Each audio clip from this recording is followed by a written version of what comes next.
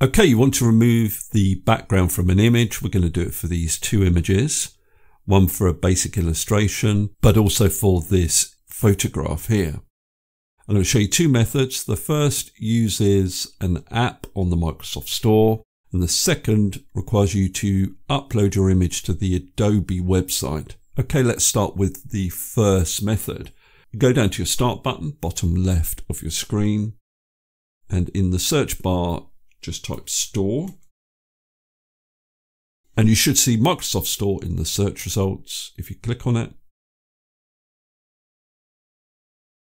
in the search bar at the top, type Paint 3D. Then select the app as it's listed there. Now I've already downloaded this app, so I can see the open button there. If you've not downloaded it, you'll see the get button. Click on the get button, that'll download the app. Then you'll see the open button. Click on the open button.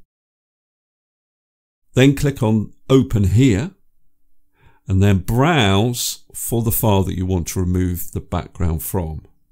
Select it and then click on open.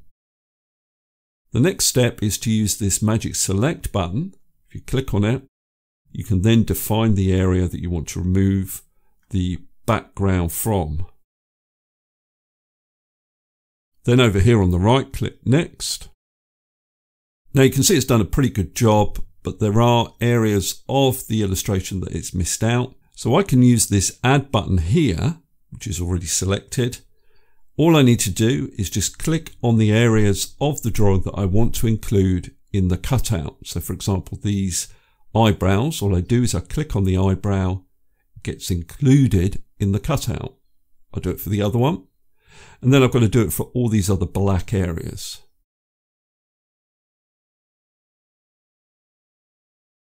Now these white areas need to be excluded from the cutout. So to do that, I use this remove button. And then I do the same thing. I just click on these white areas.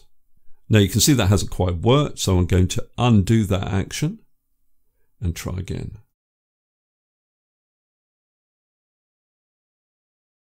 So once you're happy with your cutout, click on this Done button over on the right here. And then you want to move your cutout out of the background. Then you need to select your background just by drawing a marquee over it and then press delete on your keyboard. Then you can select your cutout and drag it back into the image. Then what you want to do is click on this menu button, go to save as, image, and you need to make sure you select this transparency option here and then click on save and save the file to wherever you want to save it. And that's the process using this method. Now Paint 3D works perfectly for a simple image like this, but let's try it with the other image.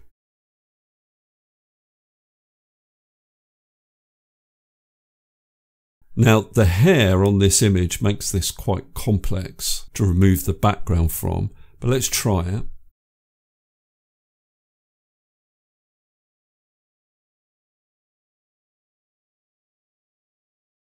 So can you see the outline, although it's quite good, does include all these gaps between these hairs.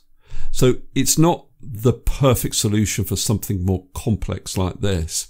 So for something like this, I would use the second option. So let's have a look at that.